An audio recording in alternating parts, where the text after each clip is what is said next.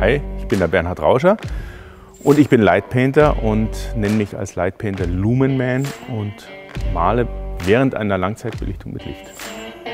Ein Lightpainting entsteht ja während einer langen Belichtungszeit. Das heißt, ich male mit Taschenlampen vor der Kamera. Einerseits sieht man die Lichtquellen, andererseits beleuchte ich aber auch das Auto mit Taschenlampen und mobilen Lichtquellen. Und ich mache dann durchaus für jedes Foto, was man dann als Endergebnis hat, fünf bis zehn verschiedene Aufnahmen, weil die Lichtquellen unterschiedlich hell sind und die werden dann später am Computer kombiniert.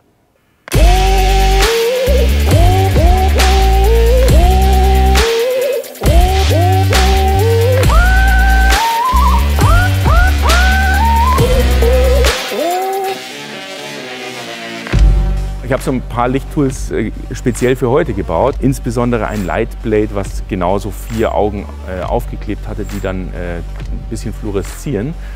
Vielleicht wäre ich auf sowas gar nicht gekommen, hätte ich nicht genau diese vier Augen probiert, irgendwie mal so irgendwo zu implementieren. Und dieses Lightblade habe ich jetzt auch verwendet und das ist, hat eine sehr energetische Ausstrahlung, würde ich sagen. Das Ding ist ja auch hier Elektromobilität, da wollte ich was mit Energie machen. Das muss energetisch ausschauen, für mich auch organisch, also nicht zu geometrisch, sondern eher sowas im Energiefluss. Und da dran zu bleiben und dann bis es äh, perfekt ist, das ist so wahrscheinlich die größte Herausforderung für mich. Mich inspirieren völlig andere Kunstformen, Design, äh, Künstler, die mit ganz anderen Medien arbeiten, auch aus, aus der Street Art und, und Graffiti-Szene.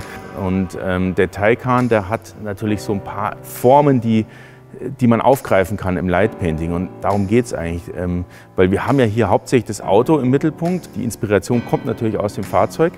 Und äh, das probiere ich aufzugreifen mit Licht und da irgendwie äh, was Tolles draus zu machen.